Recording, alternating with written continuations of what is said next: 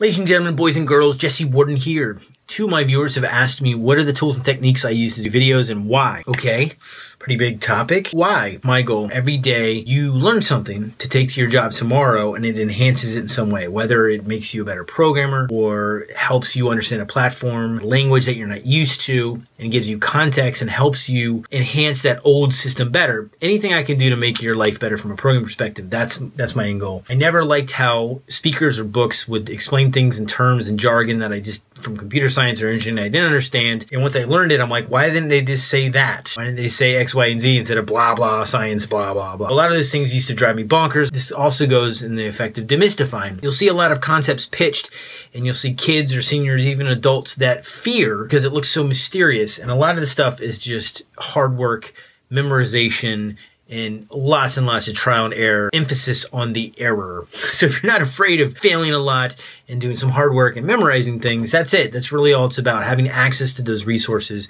is the problem that a lot of us are still trying to solve. Give back. I've never really had the opportunity to spend a lot of my time in open source. I either ran my own business where I worked 60 hour weeks doing a lot of hustling and paperwork, aside from trying to keep up in programming. When I worked for employers, I spent majority of my time on clients and taking care of them, and managing the teams. So I never really got a lot of time to do inner source and open source. So this is my way of giving back to a community that's given me so much. On things that I don't know how to do, making these videos and being able to articulate something in 140 characters is a very effective way to force yourself to learn something very quickly. Next to a deadline on a project. How? I use a MacBook Pro from 2016, I think. Not the one with the bar. I didn't want the new thing, the new Mac. Everyone says they're horrible. I didn't want them. I also have a really cheap camera mount.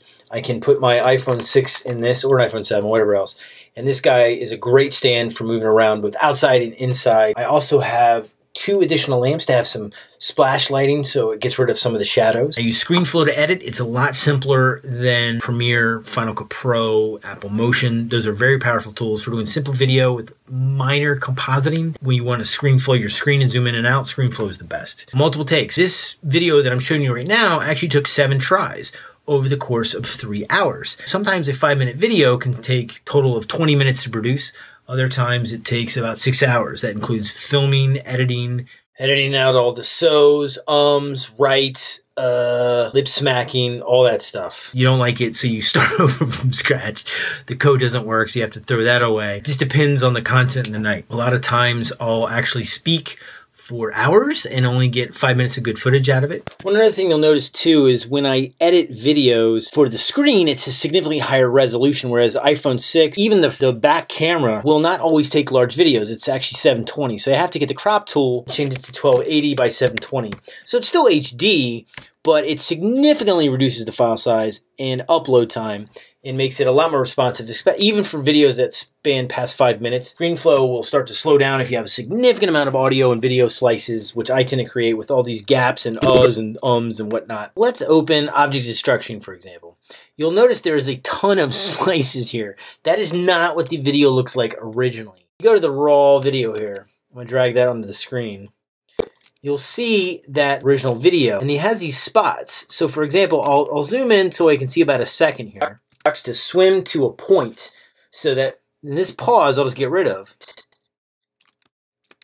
I'll hit T and then go to the point where I start to talk and hit W and close it. It'll be the to a point so that it'll be the so that. Do you really need to say so every sentence? No, you do not. So I'll zoom in even more so that get rid of that point. It'll be the groundwork for them getting bread and knowing how to get there. Perfect. You repeat that for the entire video, and then you end up with this 20 billion slices, so it looks kind of like the original, which is that.